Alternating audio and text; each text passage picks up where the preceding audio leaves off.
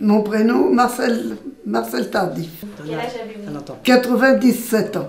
Depuis combien d'années vous habitez dans l'Argonne? 97 ans. Je suis née dans ma maison, que j'habite. Dans cette maison, vous avez toujours vécu ici? Toujours. Euh, Vous y avez vu des changements, j'imagine, dans ce quartier? Beaucoup, beaucoup de changements, oui. C'était des vignes au départ. Après, on a planté des poiriers. Et après, les ont été arrachés et on a mis des maisons dessus.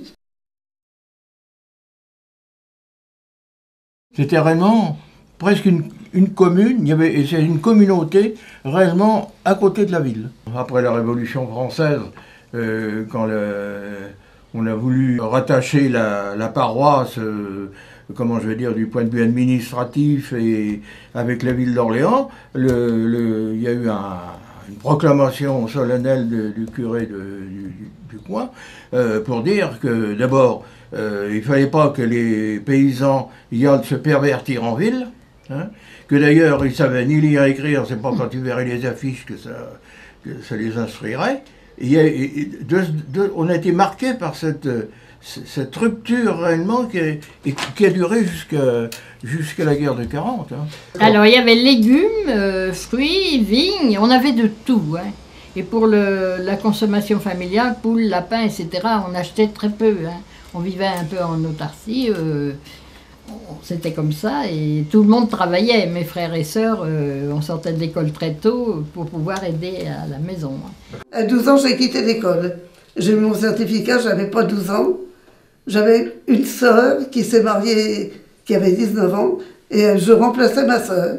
On allait faire du marché, on allait avec une voiture à bras au Halles d'Orléans. Le matin, on se levait à 4 heures et on allait au marché vendre le peu de marchandises qu'on récoltait. Des pommes, des carottes, euh, des poireaux, des choses comme ça. Eh bien, euh, il y avait. euh, D'abord, il y avait toute la zone humide de la de l'étuvée, là, ici. Et puis, tout ça, c'était- des terres légères qui permettaient des cultures euh, de légumes. Alors qu'ici, nous sommes dans des alluvions de Loire euh, euh, très, très grasses et qui font que c'était surtout de la vigne. Tout, tout ça, c'était, enfin, vigne et, et champs, hein, mais énormément, énormément de vignes. hein. Là, ça, c'est une photo qui a été prise en 1912, mais si on se retranspose, euh, mon père, moi je vois mon père partir à, à piocher sa vigne comme ça sur son vélo, sa hotte et, sa, et la pioche dans le. hein. Après le phylloxéra, euh, c'est le. On a planté du pinot noir, euh, un vin qui faisait 7-8 degrés. hein, alors qu'à l'heure actuelle, un 28 degrés est interdit à la vente, il faut qu'il fasse au moins 10. Alors, euh, alors tout ça, ça a pesé économiquement, et puis, et puis il y a eu l'idée après de faire de l'arboriculture. hein. alors ça, ça a sauvé, pour euh, une trentaine d'années, ça a sauvé tout le quartier. Mon père, euh, il s'est. Il, il a voulu abandonner la culture des légumes, justement, s'il se vendait plus guère, pour faire, pour planter des, des poiriers. Alors il n'avait que les poiriers. Alors on, était en exploitation familiale, on était deux garçons, deux filles. Et alors les, poiriers étaient en forme libre en forme libre. Alors on y accédait avec des échelles, c'était pas très pratique. Mais enfin, c'était des, des petites variétés de, de poires de l'époque. Alors euh, après, on a planté des vergers modernes avec le, poirier en poirier en espalier, c'est-à-dire sur des fils de fer. Alors c'était plus pratique et plus accessible, aussi bien pour la taille que pour les récoltes. Et les maisons étaient par-ci par-là, sauf les vieilles maisons de Viron, qui étaient tous à peu près sur le même modèle. Elles étaient façades au sud. Euh, Il n'y avait pas souvent un, étage. Il y avait le puits. Et puis alors, généralement, un arbre ou deux, des cerisiers, pour avoir de l'ombre, puisqu'elles étaient la façade au sud, et avoir la- l'agrément des, des, fruits euh, au printemps. elles étaient reconnaissables parce que il y avait souvent, comme je vous l'ai dit, le, le puits avec la descente de cave euh, qui était souvent une ancienne carrière. Avec les pierres, ils construisaient leur maison et c'est pourquoi ces caves-là sont si profondes, elles ont plus de 50 euh, euh, marches. L'escalier a plus de 50 marches, parfois 60-70. Et maintenant, ils y cultivent, quelquefois, ils y cultivent de la salade de cave ou autre chose, euh, des champignons, des, choses comme ça. La salade de cave, c'était un genre d'endive. Mmh. Que, mais l'endive, quand on coupe l'endive, la racine est fichue. On n'en profite qu'une fois. On a la racine d'endive, on prend le, le chicon d'endive et la racine est perdue. Tandis que nous, on effeuillait, on laissait la racine, et toutes les semaines, on prenait quelques feuilles autour. Et toutes, pendant trois mois, on cueillait la salade de cave. Et on l'expédiait à Paris beaucoup. On la semait au mois de mai Oui. On la semait dans les champs comme des graines, comme des carottes, comme ça. On l'arrachait au mois d'octobre, novembre. On l'épluchait, on la descendait à la cave. C'était un gros travail. Puis après, on la plantait dans la cave. Alors après, on avait, au départ, on avait des, petites lampes à essence, à bougie. Après, on a eu une lampe à acétylène qui me faisait peur parce que de temps en temps, ça, prenait un peu feu. Et après, on a fait mettre l'électricité. On avait l'électricité à la cave. C'était déjà une très belle chose. L'électricité, c'est une chose formidable. Pour que ça dure plus longtemps, comme il faisait une température moins chaude, on descendait les poires à la cave pendant une quinzaine de jours pour les revendre après au Hall. Ça prolongeait un petit peu parce que les grands frigos n'existaient pas. Ça nous servait un peu de frigo. Parce qu'il fait toujours Du reste en été, en été, on descendait de la boisson, de l'eau, tout ça, dans la cave pour que ce soit plus frais. On n'avait pas. Les frigos, on ne connaissait pas ça dans ce temps-là. Le quartier, euh, il a il a réellement changé que depuis la, dernière guerre. Euh, avant, quand on compare les plans, par exemple, euh, j'ai un plan ici de 1860, hein. et puis j'en ai un autre là-bas euh, de 1923. Vous avez exactement la même topographie, le même, même, toutes les rues descendent verticalement vers la loi et il n'y a aucune coupure transversale.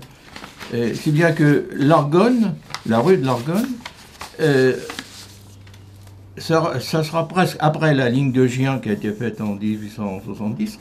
La rue de l'Argonne, ça sera la première coupure qui reliera les différentes euh, routes nord-sud pour faire une voie euh, ouest-est. La, la, décision avait été prise au conseil municipal de 1913 l'intention de faire une voie qui reliait euh, le faubourg Saint-Vincent au quartier euh, rue d'Ambert, etc.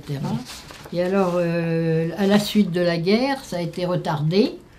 Et en plus, ça avait soulevé des problèmes au niveau des exploitants, évidemment. C'était nouveau, on n'avait pas de terre, etc. Et à la suite de la déclaration de guerre, ça a été arrêté. Et ça a été remis en route très rapidement en 1916 parce qu'on avait besoin de munitions et il fallait construire une usine qui est l'usine qu'on appelait l'usine d'Ambert, qui est toujours là, et qui justement était destinée à faire des, munitions. Et là, il y avait urgence, et donc les, terres ont été euh, expropriées rapidement. Et cette année-là, en 1916, c'est une exploitante qui est décédée qui raconte. Elle dit qu'il avait gelé très fort et que les, gens euh, se sont rassemblés, ceux qui n'étaient pas mobilisés, dit-elle, se sont rassemblés pour euh, supprimer vignes et arbres afin de libérer le terrain et de construire très vite cette usine. Dans ma famille directe, des, notamment un membre, un, oncle de mon grand-père, de ma grand-mère, qui euh, a été complètement exproprié, sa maison y compris, pour pouvoir euh, bâtir cette usine. Ils étaient, euh, à ce moment-là, étaient très patriotiques. Et pour eux, c'était d'urgente nécessité, donc il n'y a pas eu de, de, non, problème. Non. Et c'est ça qui a provoqué euh, le, premier mouvement de la nécessité, après d'une voie qui allait euh, rassembler euh, les quartiers pour pouvoir permettre aux ouvriers qui travaillaient à l'usine de venir. Et c'est à la suite de ça qu'a été repris la construction de, la rue. Hein. Et la rue a été donc réalisée à la fin de la guerre de 1914, la Première Guerre mondiale. Elle a porté le nom de l'Argonne, vous savez pourquoi, en souvenir du régiment euh, euh, qui se trouvait, où il y avait beaucoup d'Orléanais là. Euh, pour bénéficier de la loi Loucheur, ont été instaurés deux, deux îlots de, construction. Un qu'on a appelé, qui devait être réellement de la loi Louis Loucheur, qui est le quartier. La Cité Bleue. La Cité Bleue et puis à côté, une autre à bleu à cause de la couleur des, des ardoises, et la, cité rouge parce que les, toitures étaient en, en, tuiles. En tuiles, euh, de Bourgogne, je bien d'ailleurs. Et nous appelions ça à ce moment-là des HBM, des habitations à bon marché. Et c'était la ville qui en était le propriétaire, si on peut dire. Hein, c'est un peu une implantation artificielle au milieu de, euh, dans un centre euh, entièrement paysan. Et si vous alliez voir la Cité Rouge, qui a été, euh, puisque à la suite de, faillite, c'est la mairie, la municipalité d'Orléans qui a repris la construction de, la Cité Rouge. Et ils ont fait ça comme en cité-jardin. Chaque maison étaient séparés de l'autre par un jardin que les habitants avaient cœur à rendre euh, euh, joli par des fleurs, euh, des légumes aussi, bien sûr, mais des fleurs, des rosiers, toutes sortes de fleurs. Et les maisons sont faites en taille, en pierre de taille, au-dessus, il y a du crépi qui est encore d'origine. Hein. c'est du crépi qui date encore de 1930, 31, 32. Alors, il faut vous dire que c'était du solide. Et si vous parcourez la rue, vous verrez que une maison qui fait face à l'autre n'a pas les mêmes fenêtres. L'une est ronde, l'autre arrondie, euh, en ogive. Euh, c'est, ils ont voulu faire, ne pas faire une cité ils ont voulu que ce soit euh, très sympathique. Quoi. Et aussi pour avoir euh, des, des, salariés qui étaient euh, censés être plus proches de, l'usine oui, Pour loger les salariés hein qui venaient travailler à l'usine d'Ambert. C'était énorme. Hein, le, Nous, on oh, bah, L'usine d'Ambert a eu jusqu'à 3000 employés, je crois. Hein. énorme. Mais des gens qui venaient à pied et en bicyclette, beaucoup. Ah oui, oui. Ah oui oh, bah, c'était un flot ininterrompu aux, heures de rentrée et de sortie. Mmh. Et ça a changé complètement le quartier. Hein. Et cette dame nous dit, après euh, la construction des cités, il n'y avait pas de commerce. On était obligé d'aller faire ses courses soit dans le faubourg, soit un peu plus loin. Et c'est là que les premiers commerçants sont arrivés. Et alors, euh, elle, elle, précise, on était très heureux de les accueillir parce qu'on se sentait vraiment trop loin. Et sociologiquement, si vous voulez, il y a eu aussi là toute une, euh, un contact de populations complètement différentes euh, qui finalement se sont découvertes. Nos milieux paysans dont nous auxquels nous appartenions tous les deux, moi j'étais d'une grande, grande famille, il y avait dix enfants, on n'avait pas de contact avec les milieux ouvriers. Là, on s'est découvert, on s'est découvert avec nos, nos différences, mais aussi euh, ça nous a un peu ouvert les yeux et s'est créé quand même des relations euh, au travers de petits travaux comme le ramassage des pommes de terre par exemple ou le ramassage du bois lorsqu'on faisait la taille dans les vignes ou les vergers qui restaient. Ils venaient parce qu'ils allumaient leur, euh, leur, chaudière et leur cuisinière avec le bois de taille et ça a permis des, des contacts et des, des découvertes. Quoi. En 32-33, c'était en somme un gros village avec la cité rouge, la cité bleue, tout le monde se connaissait. C'était des gens simples, des gens qui euh, chargés de famille. Il y avait pas mal de sous-officiers des, qui habitaient là jusqu'au sergent, vous voyez, c'était pas des. Et puis des nous-mêmes, nous y habitions, c'était des gens simples. Elle dit une fois les deux cités construites, il nous faut une chapelle pour les catéchismes et le culte. En 39, huit jours avant la déclaration de guerre, il fut donné un terrain pour la construction d'une église et provisoirement une chapelle. C'est elle d'ailleurs qui a donné le terrain. Il lui fut amené des matériaux, mais le, le fait de l'exode retarda l'exécution.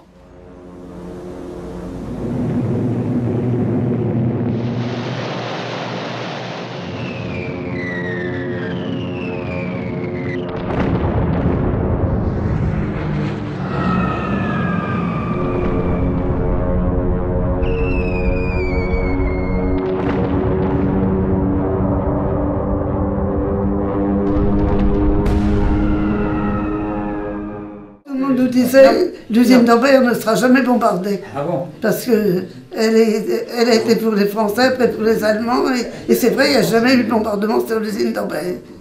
Et c'était tout à côté, là. Et c'est un ingénieur de l'usine d'Ambert qui a passé un soir, j'étais dans mon jardin, dans le mois de juin, il m'a dit, Madame Tardif, laissez votre jardin et partez tout de suite, tout de suite de l'autre côté de la Loire. Je peux vous dire que les ponts sont minés, vous n'avez pas de mari dans la, dans la maison, rien du tout, partez ce soir. Et alors, précipitamment, on a fait des valises et puis on est parti. Et j'avais ma maman avec moi et mon petit garçon qui avait six mois. J'ai prévenu ma soeur qui avait ses deux enfants. Son mari était aussi à la guerre. Alors je les ai emmenés, puis j'ai fait un mot à ma nièce, j'ai dit va prévenir ma belle-mère, mais ma belle-mère elle était prête. Il y a longtemps que les valises étaient faites pour partir. Alors ma belle-sœur qui avait donc son permis de conduire, qui avait 16 ans, alors on est parti, elle avec sa voiture et puis moi avec la mienne. On était favorisés. On avait une voiture et qui n'a jamais eu d'accident, ni de bombardement, ni rien. C'était une chance. Parce que tous les gens étaient avec des brouettes, des vélos, tout ce qu'ils pouvaient trouver comme véhicule.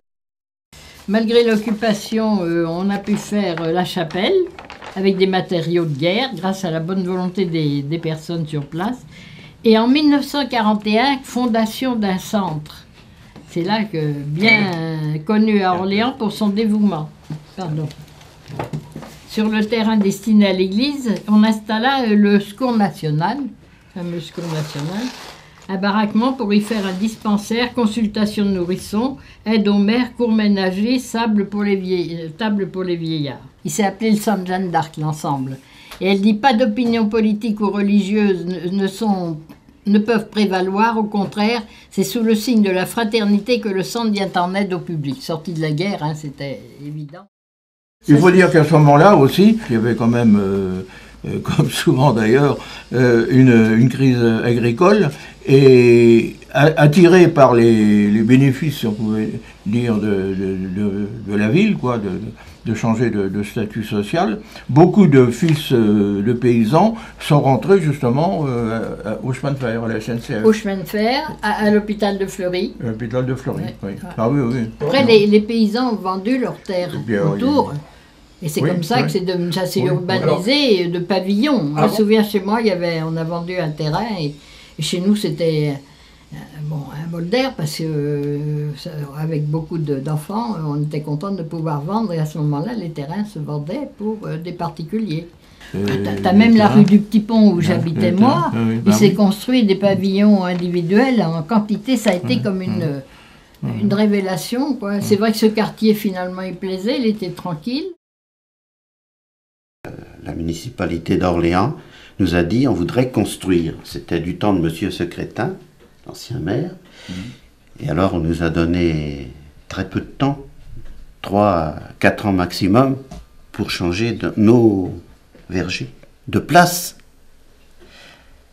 Alors il y en a beaucoup qui sont expatriés en dehors du, secteur de, des anciens vergers. Les premiers immeubles c'est la grande barre de l'avenue de la Marne et elle date de 54. Ah oui, la grande oui, la, la grande barre de l'avenue de la Marne qui est dans l'Argonne. on a été longtemps uniquement qu'avec la Cité Rouge et la Cité Bleue. Mmh. Hein. Et puis alors après la guerre, là, alors là, il y a eu les grands, les grands immeubles euh, euh, de 8, 7, 8 étages. Qui a euh, provoqué notre, notre exode. L'hiver 53-54, il faisait très froid. Il y avait beaucoup de gens dans la rue. Et l'abbé Pierre avait lancé un appel Et à partir de là, les dirigeants au gouvernement, ils ont décidé de lancer une opération de logements sociaux dans toutes les grandes villes, dont Orléans a bénéficié. Alors c'est à partir de là qu'ils ont commencé à exproprier des vergers pour construire des HLM.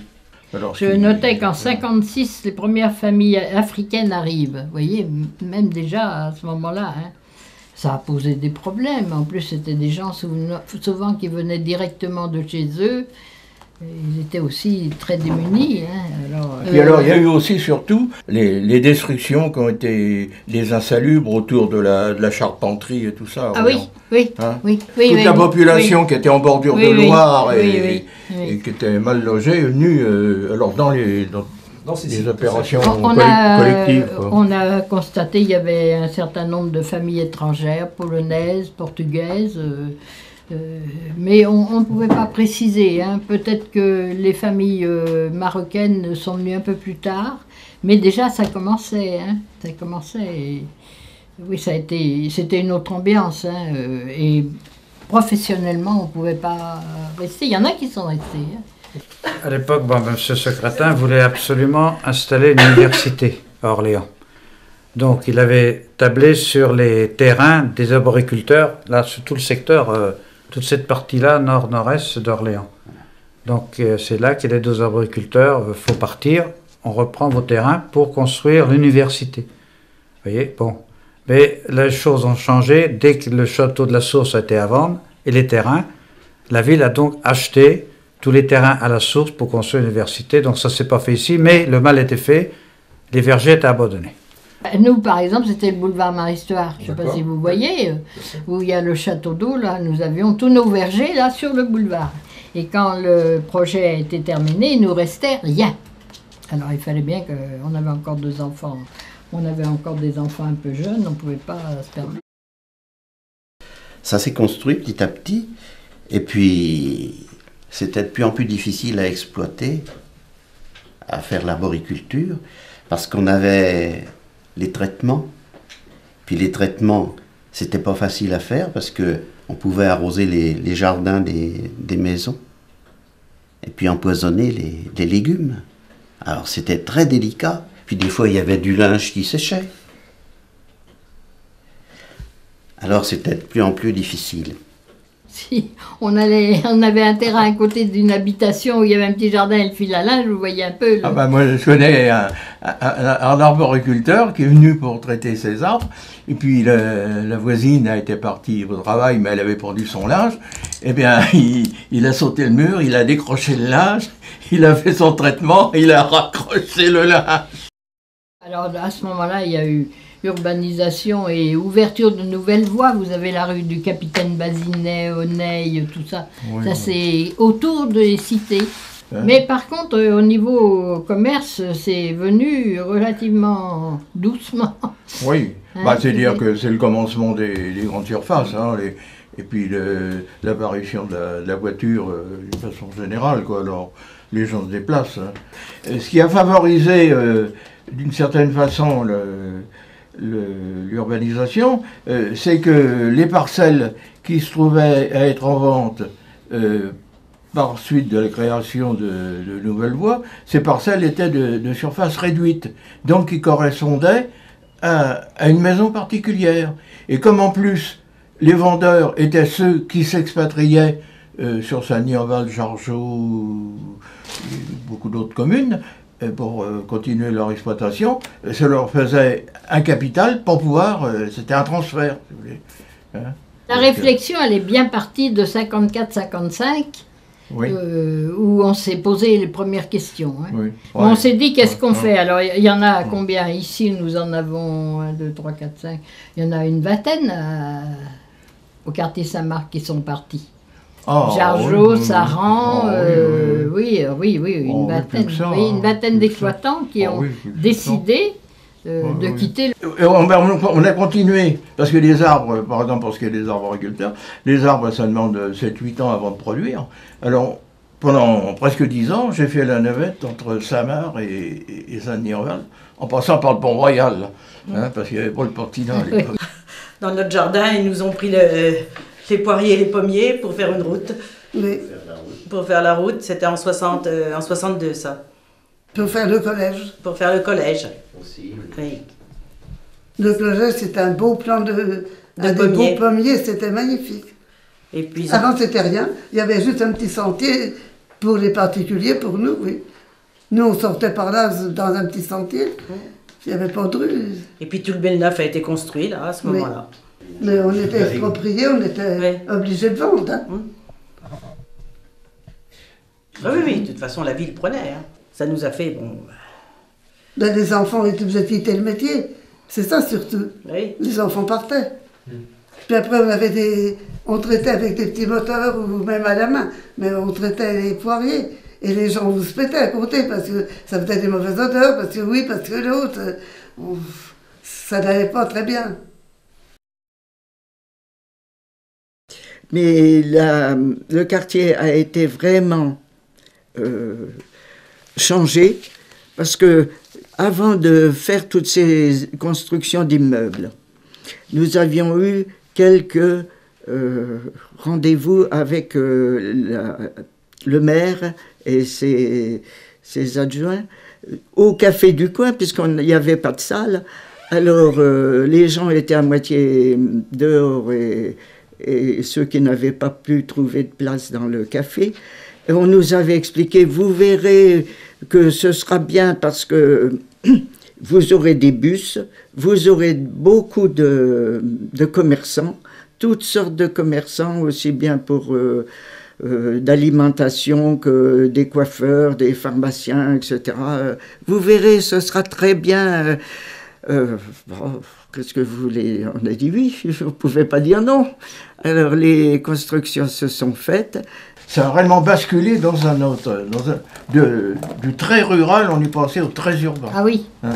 Les constructions d'équipements se multiplient. En, en- l'école du Grand Villiers en 1955, l'école du Nécotin en 1960, l'église Don Bosco en 1962, le CEG dans un préfabriqué avenue de la Marne, aujourd'hui collège Jean Rostand en 1972. Vous voyez, à ce moment-là, ça, a éclaté. On était, euh, euh, bon, on n'était plus dans le même, euh, dans le même contexte, quoi.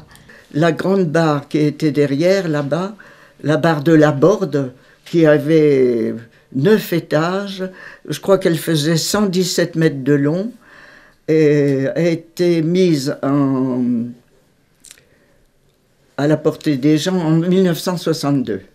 Et elle, remplaçait un grand euh, vignoble, un grand vignoble, enfin un lopin de vignoble.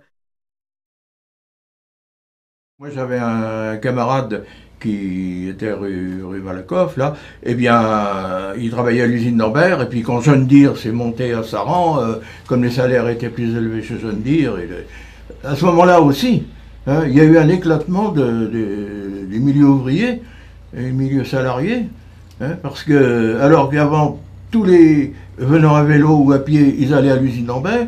Du jour où il y a eu des usines, des usines extérieures après la libération et qu'ils avaient des moyens de transport, euh, c'est plutôt le, la situation euh, professionnelle qui jouait que le, que le local. C'est bien qu'il y avait une cohésion, disons, entre. Pour les, pour les paysans, c'est normal, bon, il y avait les- le- l'habitation et les terres, Bon, pas, pas forcément tout autour, mais enfin, euh, dans le même lieu. Et pour les salariés, il y avait l'usine à côté. Ça créait quand même une, Une unité, non une unité que maintenant, c'est plus. Vous êtes resté euh, dans le, le quartier. Euh, pourquoi avoir fait ce choix? Oui, parce que on était attaché à la terre, hein, à, nos, à nos cultures, à, nos- à nos vergers. Alors, euh, on s'est installé par ici. Et même malgré les récents changements? Ben oui, avez- c'est peut-être de plus en plus difficile à, à cultiver, comme je vous disais, avec les maisons qui se construisaient, le trafic routier. Puis après, il a été fait la- l'avenue des droits de l'homme, une voie qui a tout, tout traversé de part, de part en part, les, vergers.